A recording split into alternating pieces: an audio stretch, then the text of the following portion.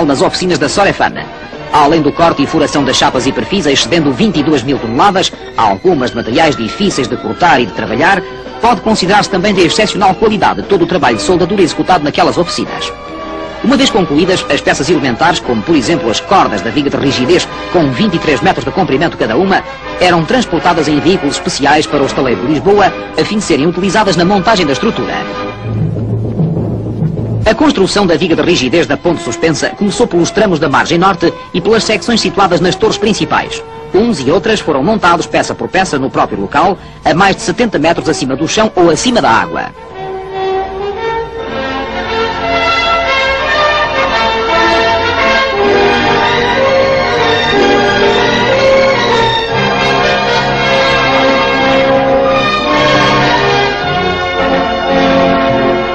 Aos riscos próprios do trabalho a tais alturas juntava-se a reduzida largura dos elementos de apoio e a natureza dos movimentos e operações que o pessoal tinha necessidade de executar. As ligações, por exemplo, eram feitas no local por meio de parafusos de alta resistência que, depois de apertados, eram verificados quanto às condições desse aperto e corrigidos se necessário.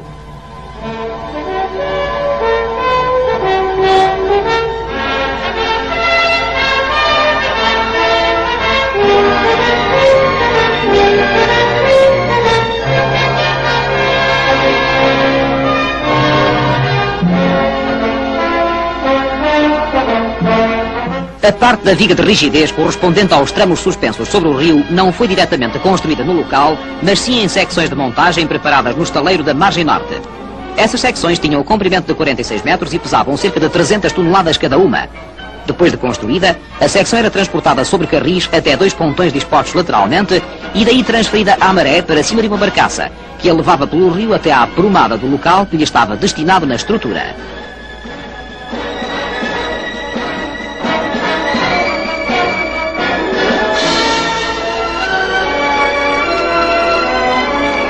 Aí, por meio de cabos de içamento ligados aos cabos principais da ponte, era guindada até se fixar no extremo inferior dos respectivos pendurais. Cinco meses depois de iniciada esta série de operações, foi feita a elevação da secção que fechava a viga de rigidez a meio do vão central.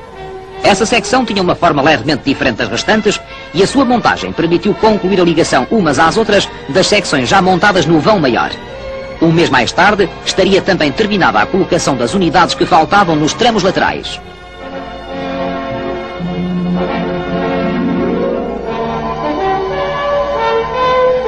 A ponte suspensa, embora ainda sem o tabuleiro, apresentava pela primeira vez a linha completa do seu perfil. Faltava fazer a colocação dos elementos do tabuleiro rodoviário.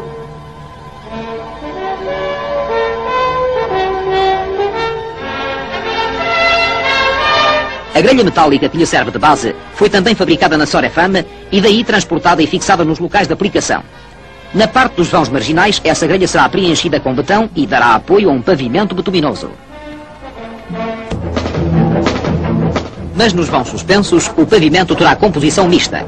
Nas duas vias de circulação mais próximas dos bordos da ponte será também betuminoso. Mas as duas vias centrais, para diminuir a ação do vento sobre a estrutura, ficarão simplesmente em grelha aberta, portanto, sem qualquer revestimento especial, fazendo-se diretamente sobre essa grelha o rolamento dos veículos.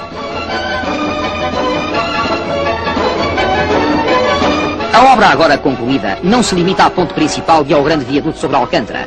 Um conjunto de estradas de acesso com o comprimento de 30 km teve de ser construído ao mesmo tempo que aquelas estruturas.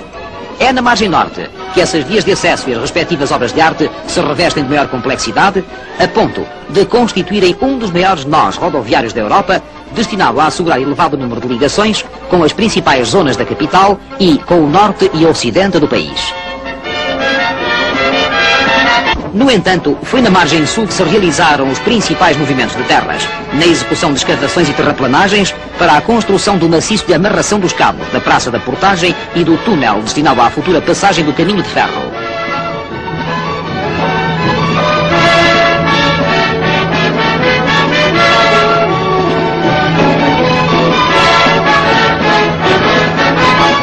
A construção desse túnel foi feita a céu aberto, e tudo fica preparado para que, quando for decidida a construção da linha férrea, os trabalhos a fazer se limitem à instalação da linha propriamente dita. Para sul da Praça de Portagem, estendem-se 11 km de autoestrada, estabelecendo ligações com a costa da Caparica, Almada, Setúbal, Alentejo e Algarve, constituindo o troço inicial da Autoestrada do Sul. A pavimentação e a iluminação desse e dos restantes acessos e os respectivos nós de ligação constituíram um dos últimos trabalhos executados antes da abertura da ponte ao tráfego.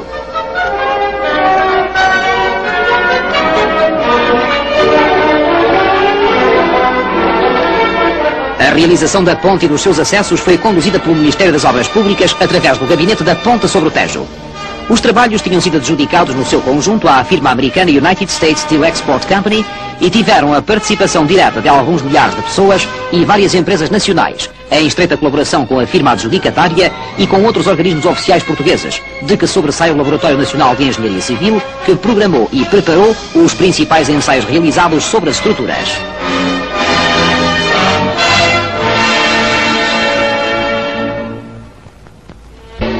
Em 6 de agosto de 1966, a menos de quatro anos depois do início dos trabalhos e seis meses antes do prazo limite, chega para Lisboa e para todo o país o dia grande da inauguração.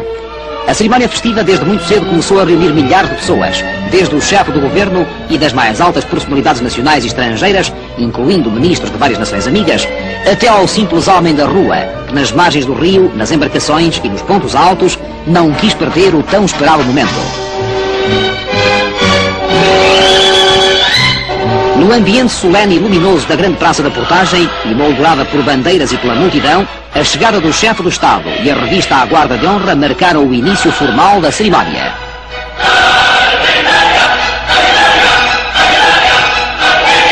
Cursaram o diretor do gabinete da ponte, o presidente da firma United States Steel, os presidentes das câmaras municipais de Lisboa e de Almada e o ministro das Obras Públicas, dando conta do modo como tinham decorrido os trabalhos, acentuando o significado regional e nacional da nova ligação estabelecida, exprimindo satisfação e agradecimento pela sua efetivação.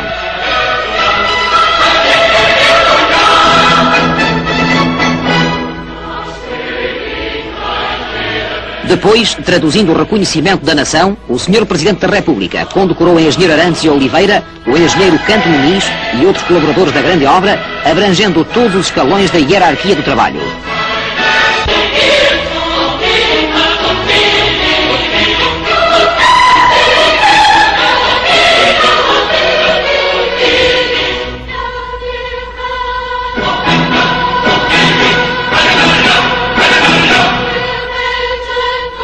Marcando o termo da fase de construção, novamente uma bênção para a obra concluída, para os que a ergueram e para todos os que vão usá-la.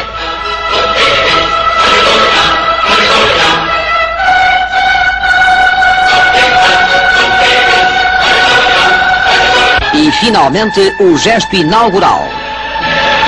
E posta ao serviço da nação a Ponte Salazar.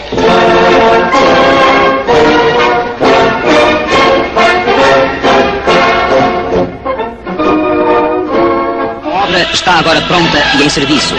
Graças à decisão que lhe deu asas e a um trabalho de cooperação do maior significado, a Ponte Salazar aí fica, para o futuro, cumprindo um sonho de gerações e transmitindo uma mensagem de fé e de ação. Nada traduziria melhor essa fidelidade e essa mensagem do que o nome do seu patrono.